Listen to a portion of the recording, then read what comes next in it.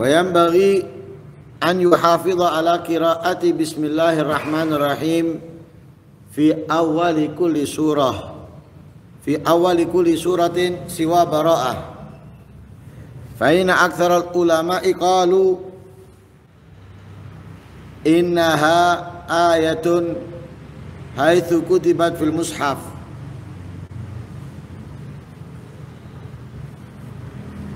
Waqad kutibat fi awaili suar siwa bara'ah. Fa in qara'aha kana mutayaqqinan qira'atal khatma aw surah. Fa idza akhala bil basmalati kana tarikan li ba'dil Qur'an indal aktsarin. Fa in kanatil qira'atu fi wadhifatin 'alaiha ju'lun.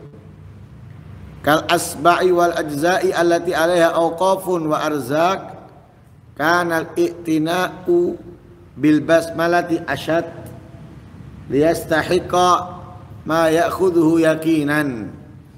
Fa innahu idza akhala bihi lam yastahiqa syai'an minal waqfi inda may yaqul al basmalatu min awailis suwar wa hadhihi daqiqatun nafisatun ya ta'akkadul i'tina'u biha wa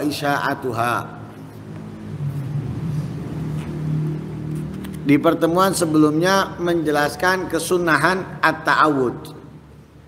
Mengucapkan rajim. Dan itu yang banyak dipakai oleh para ulama salaf khususnya. Atau samil alim rajim. Kali ini membahas tentang dianjurkan untuk selalu menjaga membaca bismillahirrahmanirrahim.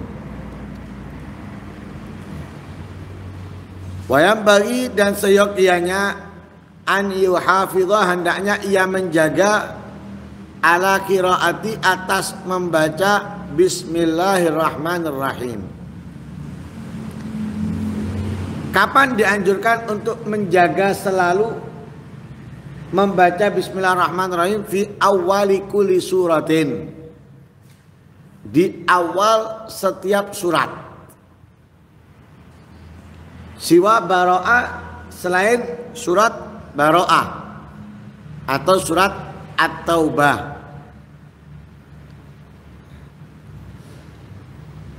Fa'ina aksaral ulama'i karena banyaknya ulama kalau mereka berkata innaha ayatun bahwa bismillah satu ayat.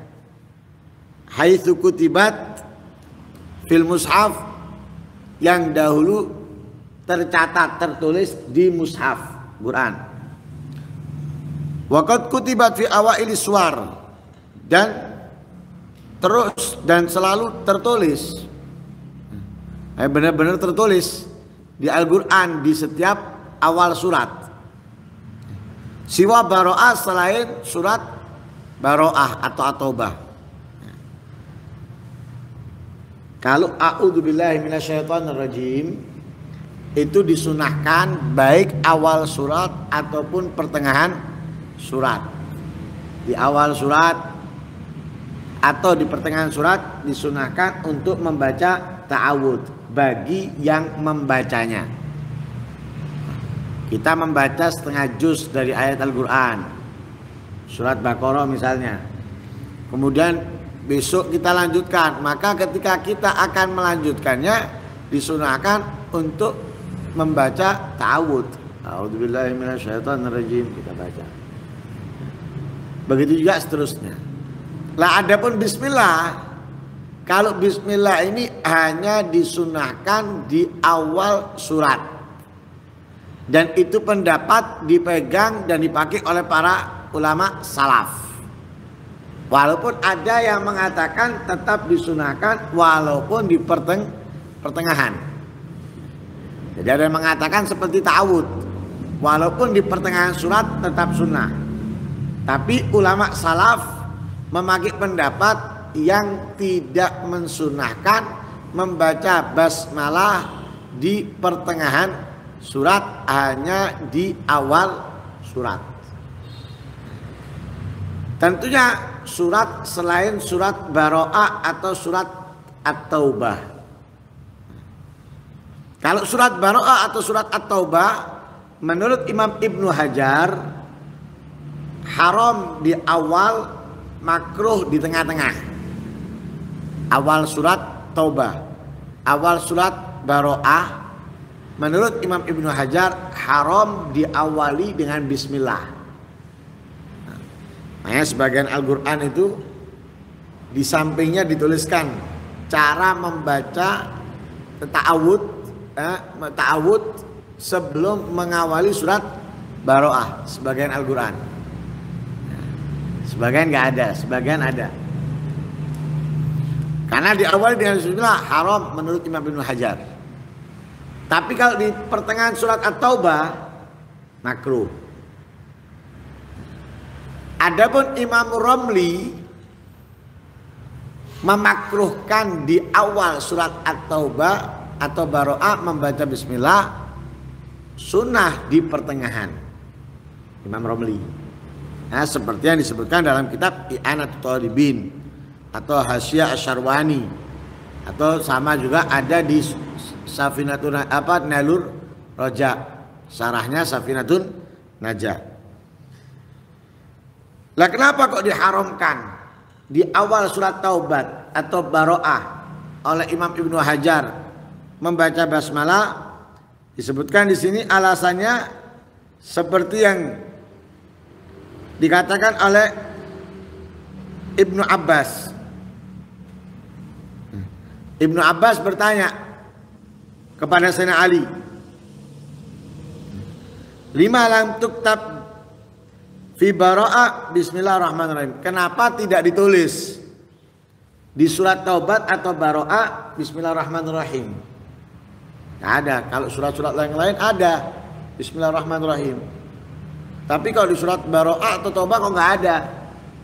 Imam Ibnu Abbas bertanya kepada Imam Ali. Lalu dijawab, li'anna bismillahirrahmanirrahim aman. Karena bismillahirrahmanirrahim itu adalah keamanan. Nah, memberikan keamanan. Jadi sifatnya Allah Ar-Rahman Ar-Rahim. Nah, orang yang mendapatkan rahmat, orang yang mendapatkan kasih sayang itu pasti mendapatkan apa? Keamanan, dijaga. Lah, baro'a nggak aman. Kenapa kok nggak aman? wa bara'a laisa fiha aman li'annaha nazalat bisayf. Surat Baro'ah nggak ada amannya. Karena turun surat Baro'ah itu bisayf dengan pedang. Nah, kalau kita baca surat Baro'ah atau Taubah itu menceritakan tentang perang. Tentang dilarangnya berperang di bulan haram. Kemudian sampai dibebaskan perang di bulan apa pun. Di mana kalian bertemu dengan orang-orang musyrik misalnya orang-orang kafir yang memerangi kalian. Kemudian menceritakan tentang orang-orang munafik dan semisalnya. Sehingga nggak cocok nggak pantas untuk di baca Bismillahirrahmanirrahim. Nah, karena itu di setiap surat disunahkan Bismillah. Tapi kalau di pertengahan ala khilaf ada perbedaan. Ada yang mengatakan tetap sunnah, ada yang mengatakan nggak sunnah, dan itu yang dipakai oleh ulama salaf. Adapun di surat Baro'ah pengecualian itu, surat Baro'ah pengecualian bahwa tidak apa diharamkan oleh Imam Ibnu Hajar, dimakruhkan oleh Imam Nawawi, eh, Imam Imam Romli di awal surat. Tapi di pertengahan Imam Ibnu Hajar makruh, Imam Romli sunnah. Ya. Fa'in qara'a kana mutayakinan qira'at al-khatma awi surah kalau ia membaca Bismillah di awal surat dia membaca Bismillah. sampai akhir surat berarti dia benar-benar membaca Al-Qur'an, membaca surat tersebut. Jadi membaca secara keseluruhan surat tersebut. Ya. Atau kalau dia membaca 30 juz, setiap surat dia awali dengan bismillah selain baro'ah atau taubat, maka dia dianggap telah menghatamkan Al-Qur'an.